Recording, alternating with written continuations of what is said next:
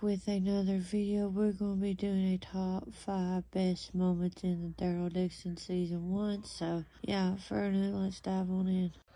Number 5 is going to be Daryl helps out the nuns at the Abbey after Codron attacks it. So yeah, I really, really enjoyed it and stuff like that. Um, with the aspect with Daryl is was determined to leave after the nuns helped him and stuff, but he saw Codron um come back to take out the nuns, so he figured he'd go back and help the nuns.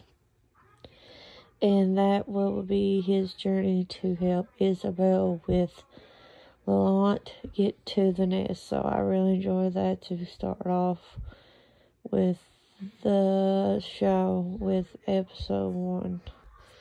Number four is when Daryl visited his grandfather. So that was the episode six. That was the season finale, and yeah, I thought it was really cool how Daryl talks about to Isabel about his grandfather went to France and died, and about the whole abandonment scenario and all it keeps in the generation. And I thought it was really cool and honored it like a symbolic thing. And when he was leaving to go back home to make the boat, he came across that and then had to fight the walkers and then Laurent popped up. So I thought that was pretty cool. And he would he's the only one in his family has went to his grandfather's grave.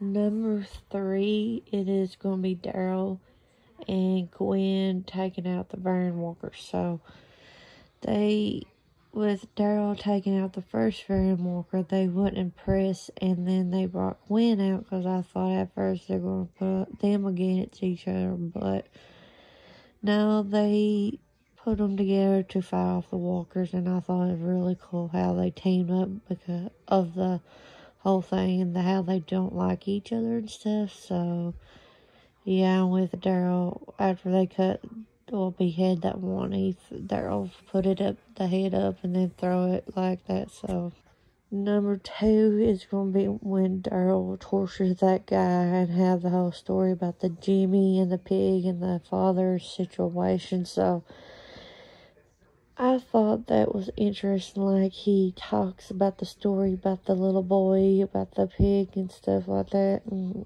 his dad, the dad was drunk and stuff.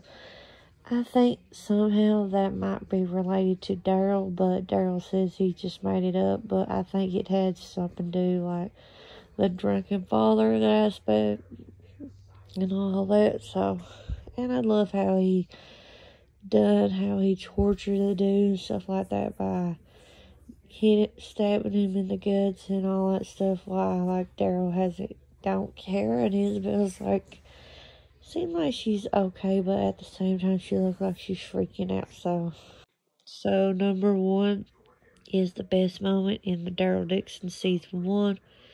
It is when Daryl was on that boat, so that's like the flashback and all stuff. So he gets captured by Genet's people and he was locked up in a cage in like a, a shipping container stuff.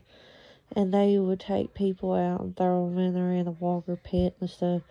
And daryl and this old man and they team up and took like daryl pretend he was sick and stuff and he got him out. And like daryl went kill mode took the people out took the dude that took his vest helped the other dude and let all these walkers out.